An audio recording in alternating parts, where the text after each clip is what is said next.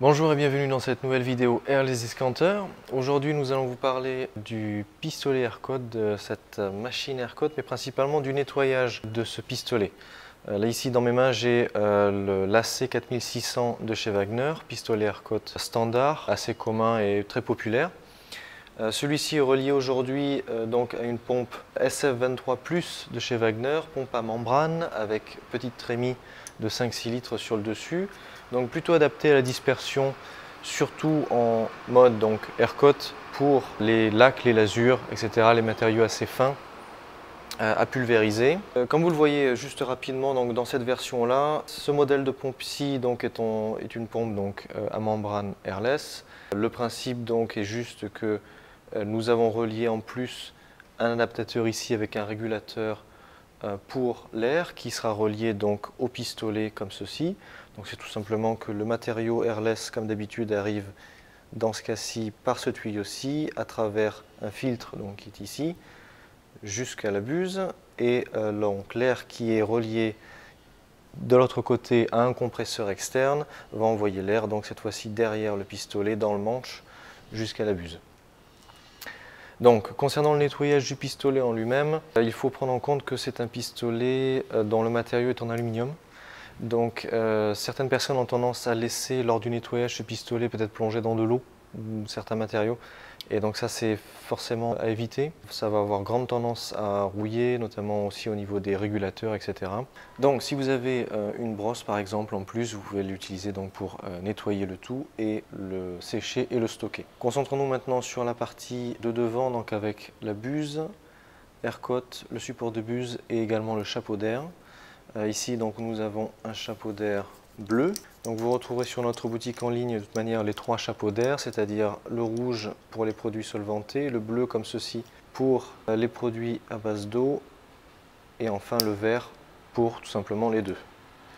Donc, vous retirez l'ensemble qui vient. Donc, vous avez le support de buse comme ceci, donc à bien nettoyer, rincer et stocker. Vous aurez à l'intérieur donc la buse Aircote, c'est une buse standard vous pourrez donc euh, prendre le temps si possible de bien nettoyer, de brosser, de sorte à laisser aucun résidu sur celle-ci. Je vous donnerai également une technique par la suite pour la conserver en plus si nécessaire. Et enfin, donc le chapeau d'air. S'il y a un conseil à donner concernant le chapeau d'air en lui-même, c'est que vous voyez donc il a tous les orifices internes ici et vous avez euh, donc par rapport à la paroi en elle-même qui est relativement euh, sensible et qui donc conduit l'air qui va enrober le jet airless de peinture. Ce que nous conseillons de faire, c'est de surtout pas utiliser de brosse ou autre pour nettoyer, euh, faire très attention lors du nettoyage de ces chapeaux d'air, parce que si vous endommagez donc une partie ou une autre, ou que ça soit rayé d'une certaine manière, du coup l'air ne sera plus réparti correctement, et au final votre jet voilà, ne sera plus correct et la pulvérisation sera ratée. Donc toujours faire attention au nettoyage de ces chapeaux d'air. L'idéal, c'est de tout simplement le rincer correctement et ensuite de le mettre, donc, comme j'allais en venir, euh, dans un petit réservoir comme cela. Ça, c'est des sabliers airless avec des produits de nettoyage que vous avez à l'intérieur.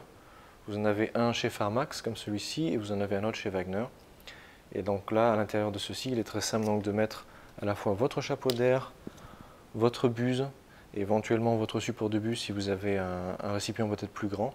Ensuite, en retournant, le liquide rentre à l'intérieur et euh, ces bus sont conservés jusqu'à prochaine utilisation. Si jamais il restait des résidus, euh, ces résidus seront dissolvés et cela va permettre donc d'éviter également que euh, la corrosion ou quelque chose vienne également gêner le processus. Ensuite, donc, à ne pas oublier, comme je l'avais mentionné au début de cette vidéo, vous avez donc un filtre à ce niveau-là, qu'il ne faut pas oublier, qu'il faut retirer et bien rincer. Euh, de sorte à ce que vous ne soyez pas, donc euh, voilà, qu'il n'y ait pas de problème par la suite avec celui-ci euh, dans l'acheminement du, produit à pulvériser. Et enfin, ce qu'il ne faut pas oublier, sur lequel il faut également bien se concentrer, c'est les deux joints que vous avez ici, au niveau de l'embout du pistolet. Donc vous avez le plus petit au milieu qui va avoir donc l'aiguille qui va rentrer à l'intérieur et le plus grand tout autour.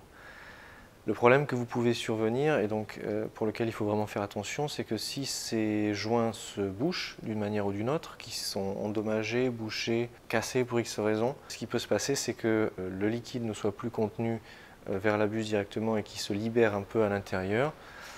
Et dans le pire des cas, ce qui peut se produire éventuellement, c'est que le produit donc repasse en arrière à l'intérieur du pistolet et donc du coup vienne dans le champ de l'arrivée d'air, passe à l'intérieur du manche et même éventuellement rejoigne le flexible euh, jusqu'à la pompe.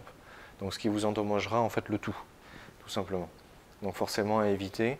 Euh, donc si jamais vous voyez que le joint commence à avoir un défaut quelconque ou autre, pendant l'utilisation ou autre, la première chose à faire c'est de, si possible, de laisser le pistolet dans une position euh, comme celle-ci, de sorte à ce que quoi qu'il arrive, même s'il y a une fuite en embout ou autre, ça va s'écouler vers le bas et non remonter vers le flexible à air. Et puis bien sûr, euh, pour ce type de joint, dès qu'il y a un dommage, qu'ils sont bouchés ou autre, la seule chose que l'on vous recommande de faire, c'est de les changer.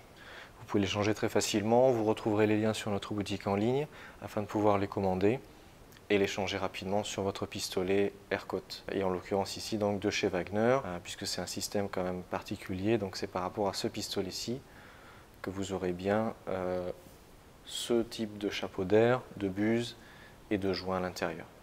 Donc en résumé, sur ce pistolet-ci, après utilisation, vous pensez bien à nettoyer donc le filtre à l'intérieur, le support de buse, la buse, le chapeau d'air. Faites attention, comme je l'ai dit, au chapeau d'air, de sorte à ne pas l'endommager euh, et que vous n'ayez pas à le changer rapidement. Euh, n'hésitez pas donc à mettre le tout dans des récipients comme cela pour les conserver plus longtemps.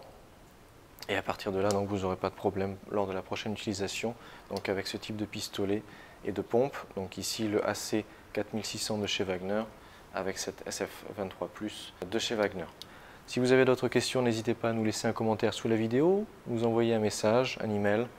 Nous y répondrons rapidement. N'hésitez pas à faire un tour sur notre groupe Trucs et Astuces. Euh, vous aurez également euh, d'autres professionnels laissant leur expérience et toute question qui sera posée trouvera sa réponse. Et quant à moi, je vous dis à très vite sur les discounters.